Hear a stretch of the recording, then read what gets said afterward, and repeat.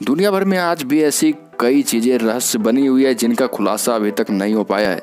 ऐसा नहीं है कि वैज्ञानिक इसके बारे में पता नहीं लगाते हैं, लेकिन उन्हें सही तरह से सफलता नहीं मिलती है।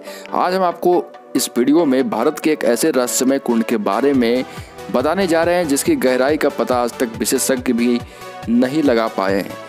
दरअसल इस रहस्यमय कुंड का नाम है भीम कुंड और ये मध्य प्रदेश के छतरपुर ज़िले करीब 70 किलोमीटर दूर बाजना गाँव में स्थित है। जैसा कि आपको नाम से ही पता चल गया होगा कि इस कुंड का महत्व महाभारत काल से जुड़ा है। भीम कुंड को लेकर एक बात प्रचलित है कि महाभारत काल में जब पांडव अज्ञात बास पर थे और इधर उधर भटक रहे थे तो उन्हें बहुत ज़ोर की प्यास लगी, लेकिन काफ़ी जगह भटकने के बाद उन्हें कहीं पर पानी नहीं मिला। ऐसे में भीम ने अपनी गदा से ज़मीन पर मारकर यह कुंड बनाया और अपनी प्यास बुझाई। कहा जाता है कि 40-80 मीटर चौड़ा यह कुंड देखने में बिल्कुल एक गदा के जैसा है। वैसे ये कुंड देखने में तो बिल्कुल साधारण सा लगता है, लेकिन इसकी खासियत आपको हैरान कर देगी।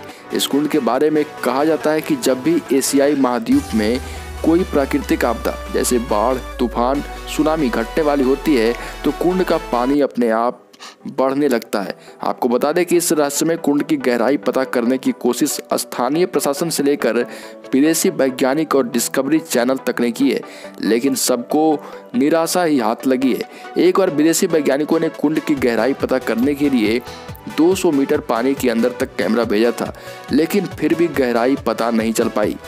भीमकुंड के बारे में ये भी कहा जाता है कि इसका पानी गंगा की तरह बिल्कुल पवित्र है और यह कभी खराब नहीं होता, जबकि आमतौर पर ठहरा हुआ पानी धीरे धीरे खराब होने लगता है।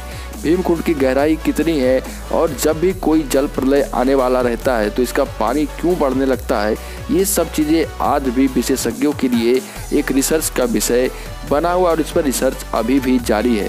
तो दोस्तों, आपको ये वीडियो कैसी लगी? अगर अच्छी लगी तो वीडियो को लाइक करें और इसी तरह की जानकारी को पाते रहने के लिए इस चैनल को अमेजिंग वर्ल्ड के इस यूट्यूब चैनल को सब्सक्राइब कर लें।